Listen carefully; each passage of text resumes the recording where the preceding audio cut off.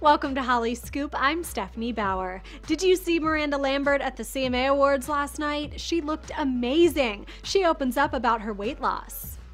Miranda nailed it in this slimming blue dress. Even after they walked the red carpet, her husband Blake Shelton tweeted, My wife is so hot, it's ridiculous. Anyway, as for her weight, Miranda says, quote, Road life is a lot of fast food and a lot of late nights and a lot of drinking. I didn't give up drinking, I refused. You have to have a drink to put up with my husband but I just felt that I should get a little more healthy.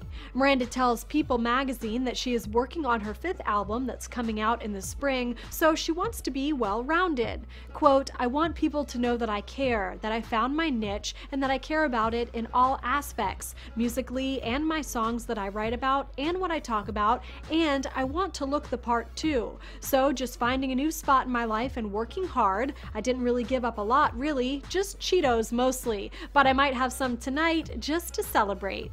She has a lot to celebrate. Miranda won Female Vocalist of the Year at the awards last night. For more entertainment news, stick with HollyScoop.com.